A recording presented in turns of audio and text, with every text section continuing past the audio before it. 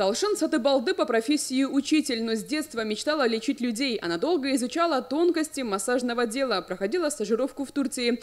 Осуществить мечту помогла программа финансирования начинающих предпринимателей. На открытие собственного кабинета ей выделили грант в размере 1 миллиона 225 тысяч тенге.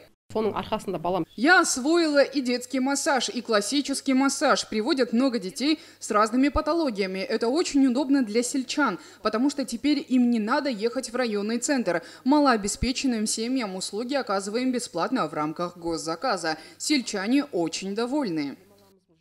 У Заури Аманбековой собственная пекарня. На средства гранта приобрела необходимое оборудование. В день здесь выпекают 700-800 лепешек. Работают 5 человек. Мы продаем нашу продукцию в 10 точках, печем 7 видов хлебобулочных изделий. Хотим расширять производство, чтобы поставлять свой хлеб в соседние аулы. В прошлом году гранты на открытие бизнеса получили 80 жителей района. Более 500 человек изучали азы предпринимательства по программе «Бастау бизнес». В этом году предусмотрены средства на поддержку 65 бизнес-идей. 16 из них уже получили грант и открыли свое дело. Принимаем документы на второй этап. В этой программе могут участвовать безработные, трудоспособные люди с ограниченными возможностями, многодетные и малообеспеченные семьи. В целом по области планируют выделить 3000 грантов на поддержку малого предпринимательства.